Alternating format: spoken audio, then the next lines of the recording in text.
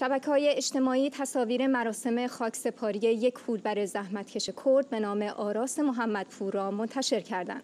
آراس 32 سال داشت و دارای دو فرزند خردسال بود که به خاطر فقر مجبور به کولبری بود. اما پاسداران جانی خامنه ای در مرزبانه او را با گلوله مورد اصابت قرار دادند.